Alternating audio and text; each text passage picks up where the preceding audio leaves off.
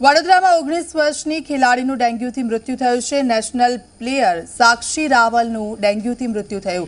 બે હજાર ઓગણીસમાં જુડોમાં સાક્ષી રાવલે બ્રોન્ઝ મેડલ જીત્યું હતું. ઝારખંડમાં યોજાયેલી સુરાજ કોમ્પિટિશનમાં બ્રોન્ઝ મેડલ જીત્યું હતું. નેશનલ પ્લેયર સાક્ષી રાવલના મોતથી પરિવારજનો અને સાથી ખેલાડીઓમાં શોકનો માહોલ છે.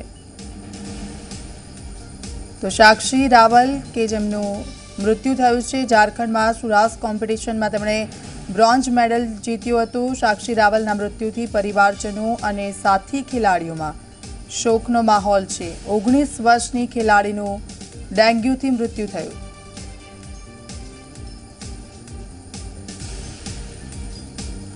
રવિ અમારી સાથે ફોનલાઈન પર જોડાઈ ગયા છે. રવિ, ઓગણીસ વર્ષીય ખેલાડી સાક્ષી રાવલ કે જેમનું ડેન્ગ્યુના કારણે મોત થયું છે. રોગચાળો વધી રહ્યો છે અને આ પહેલા પણ વડોદરામાંથી એવા કેસો સામે આવ્યા હતા કે ઝાડા ઉલટીના કારણે પણ કેટલાક લોકોના મોત થયા હતા.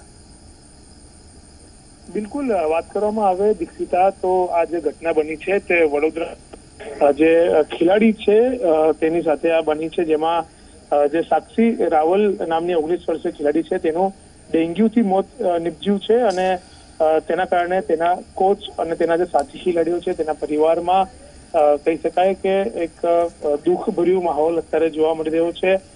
પરિવાર કોચ છે તે કહી રહ્યા છે કે ખાનગી હોસ્પિટલના તબીબ દ્વારા યોગ્ય સારવાર નથી કરવામાં આવી. ત્યારબાદ જે યુવતી છે, સાક્ષી રાવલ, તેને સરકારી હોસ્પિટલમાં ખસેડવામાં આવી હતી, જ્યાં તેનું ડેન્ગ્યુનો રિપોર્ટ પોઝિટિવ આવ્યો હતો અને તેને યોગ્ય અને સમયસર અને યોગ્ય સારવાર ન મળવાના કારણે તેનું મૃત્યુ થયું છે. ઝારખંડ ખાતે યોજાયેલી જે જુડોની સુરાસ કોમ્પિટિશન હતી તેમાં સાક્ષી રાવલે બ્રોન્ઝ મેડલ પણ જીત્યો હતો અને નેશનલ પ્લેયર નેશનલ લેવલની આખી જે ખેલાડી હતી અને તેના મોતથી ચોક્કસથી એક મોટી ખોટ પણ ભારત દેશને પડી છે.